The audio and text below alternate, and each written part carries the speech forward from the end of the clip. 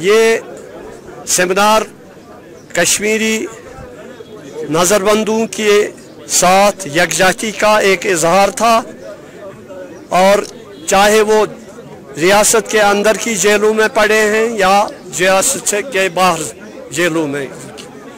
हर कैदी के साथ आज हमने उनके साथ इजहार यकजाती का ये दिन मनाया। उनके साथ ज्यादती हो रही है। उनको बे बे, यानी ऐसे ऐसे केसेस में फंसाया जा रहा है, जिनकी न, जिनका ना सर होता है, ना कोई पैर होता है। उसके लिए उनके पास कोई ठोस शवाहिद नहीं होते।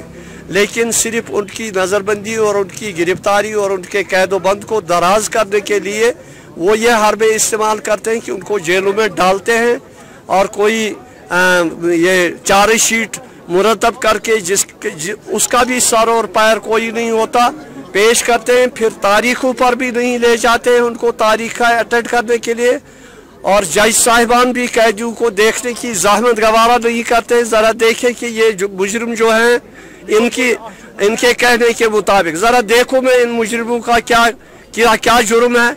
और जुर्म न उनसे जुर्म के बारे में न कोई सफ़ाई देने का उनको मौका दिया जाता है, न उनको जेलों के अंदर आराम से अपने लम्हात ज़िंदगी गुजारने का मौका फराम किया जाता है और इस सारे जुल्म और इस सारे तादी के खिलाफ हमने आज ये सेमिनार का अहतमाम किया था। पत्थर से तो आज तक हिंदुस्तान का कोई फौजी नहीं मारा।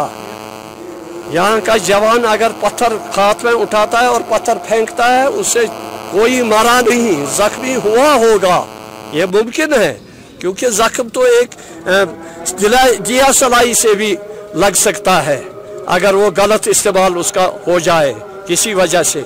लेकिन पत्थर जब इस्तेमाल होता है और पत्थर फेंका जाता है तो जख्मी ही होता है इंसान। उसके मुकाबले में उनके पैलेट गनों से हमारे सैकड़ों और हज़ारों लोग लोग हमारे जख्मी हो गए और सैकड़ों हमारे शहीद हो गए।